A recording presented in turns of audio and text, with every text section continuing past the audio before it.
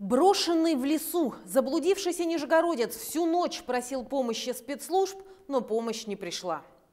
Ну, вот так вот, собственно, я по- побывал в лесу, а люди, которые должны были помочь, что-то не совсем помогли, так скажем. Я стал звонить 112, я начинаю объяснять, она мне, идите, посмотрите фонари, зайдите, зайдите на пригорок. Я им говорю, что я в лесу, какое название улицы, вы понимаете, как милиция на меня положила, так скажем, то есть и экстренные службы. А результат то, что здесь отрезали целиком, а здесь ну, сантиметров там осталось, может.